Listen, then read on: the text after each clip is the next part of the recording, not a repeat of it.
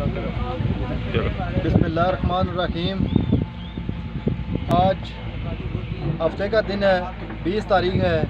تو میرپور اور بمبر سے یہ خبریں شائع ہو رہی ہیں کہ سمانی کے جنگلات میں تین دن سے آگ لگی لگی ہوئی ہے اور کوئی بندہ جو ہے نا وہ اس کو بجانے کے لیے تیار نہیں۔ تو خدارہ یہ فیک خبریں چھوڑ دیں، کیونکہ D F O Numan Akbar صاحب اور ڈی ایف او عابد صاحب، رینج افسر آئے خالد صاحب، رینج افسر افضال صاحب اور فرسٹر صاحبان اور جتنے بھی ان کے واچر حضرات ہیں اور گارڈز ہیں، ان کے ساتھ لاسانی یوتھ فورس اور بنڈی یوتھ فورس، جتنے بھی سول سوسائٹی کے لوگ ہیں، وہ اپنا بھرپور کردار ادا کر کے اپنے جنگل کو بچانے کی کوشش کر رہے ہیں اور بمبر میں بیٹھ کر یا میرپر میں بیٹھ کر فیک خبریں چلا کر آپ کیا ثابت کرنا چاہتے ہیں؟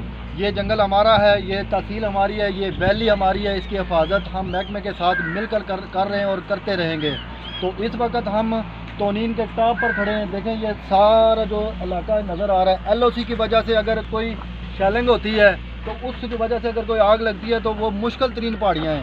تو وہ بھی کنٹرول کرنے کی کوشش کرتے ہیں۔ باقی جو ہمارا خوبصورت جنگل ہے، جہاں سیاحت آ رہے ہیں، تو لوگ اس میں، اس سے جو ہے نا، وہ محبت بھرا جو ہے نا، وہ نظارہ لے رہے ہیں۔ تو وہ انشاءاللہ اللہ کے فضل و کرم سے ہم کوشش کریں گے کہ اس جنگل کو آگ سے بچائیں۔ تو اس وقت اگر کسی کو ڈاؤٹ ہے کہ وہ دکھائے کہ کون سے جگہ آگ لگی ہوئی ہے، کسی جگہ آگ نہیں لگی ہوئی، تو اس لیے محکمے کو بدنام نہ کریں، کیونکہ ہم سب لوگ سول سوسائٹی کے محکمے کے ساتھ کھڑے ہیں اور انشاءاللہ اپنے جنگل کو بچانے میں اپنا بھرپور کردار ادا کریں گے۔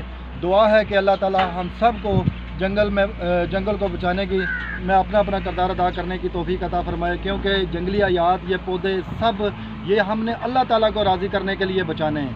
تو اس میں محکمہ بھی اپنا بھرپور کردار ادا کر رہا ہے۔ تو اگر کسی کو کوئی ذاتی رنجش ہے کسی کے ساتھ، تو وہ اس کا نام لکھے۔ یہ نہ لکھے کہ عثمانی کے جنگلات میں آگ لگی ہوئی ہے، کوئی کنٹرول کرنے والے اللہ کے فضل و کرم سے۔ ہمارے سب نوجوان موجود ہیں، سول سوسائٹی کے نوجوان موجود ہیں، لاسانی یوتھ فورس بھی موجود ہے محکمہ بھی موجود ہے۔ رات کو ایک بجے تک اگر گرنڈا میں ڈی ایف او صاحبان تمام افسران اگر موجود تھے تو ہر جگہ ہم موجود ہیں۔ کیوں؟ آپ جنگل کو بچانے کے لیے تیار ہیں؟ الحمدللہ۔ اللہ کے فضل و کرم سے اللہ تعالیٰ اس جنگل کو بچانے میں ہم سب کو اپنا اپنا کردار ادا کرنے کی توفیق عطا فرمائے۔